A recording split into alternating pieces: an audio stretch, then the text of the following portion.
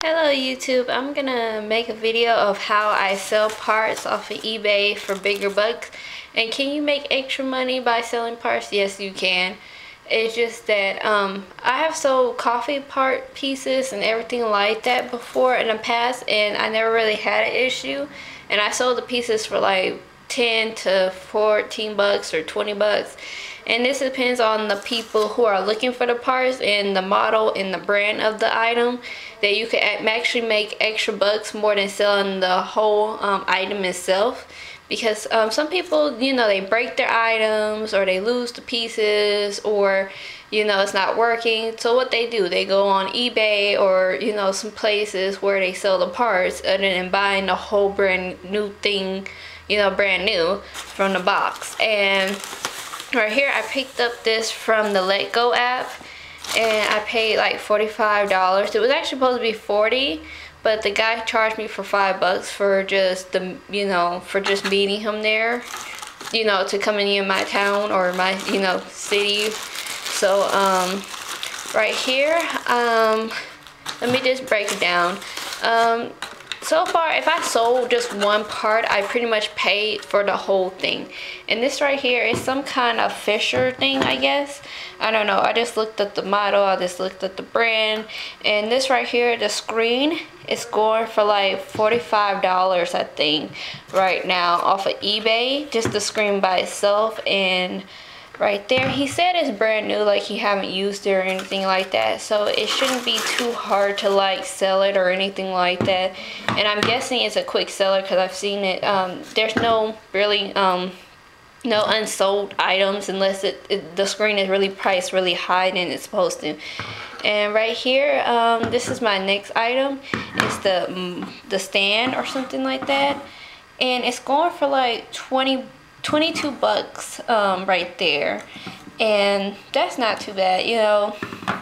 To me that's extra money and just a screen that's like $45 and this the, um, screen uh, and the stand is like $22 and then right here this is the big money right here is the cord I guess.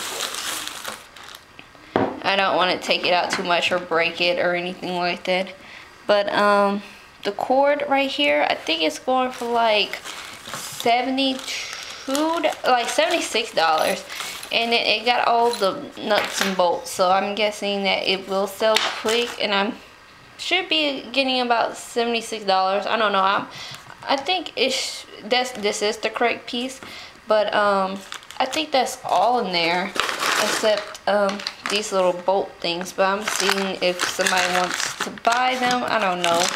But um, so far that's it. And I seen that somebody sold the the instructions but you could be surprised. People would just go online and buy um, stuff. I have sold it and you know an instruction to a game before. So that's really you know it's really crazy that people are looking for the complete pieces to everything and we're willing to pay four bucks or you know seven bucks for the instructions or anything like that. But um this right here you know 22 bucks 40 you know that should make my money back. This is gonna make extra if it sells. And this right here is like twice the money that's gonna make it so um, that's all I want to show you for right now is that you can make money selling parts and I did it before.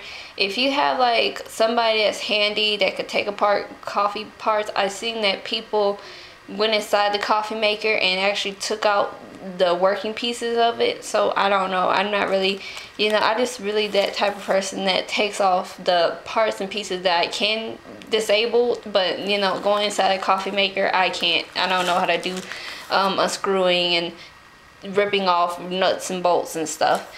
But um right now that's just I want to show you that you can make money. You don't have to sell the whole parts you know together. I think you make more extra money just selling you know the stuff individually because you'd be surprised that people are willing to pay you know for um, parts especially like if you got a I don't know one day um, somebody was asking me do did I have one of the grill catcher you know the um, grease catcher for those um, George Foreman um, grills. People pay good money for that too. The little thing that you put at the bottom so that the grease won't fall down into the you know onto the counters or wherever it is people pay good money for those too but you know it's really up to you and i guess it this depends on if you willing to do your research and you know you'll be surprised at what people would spend their money on.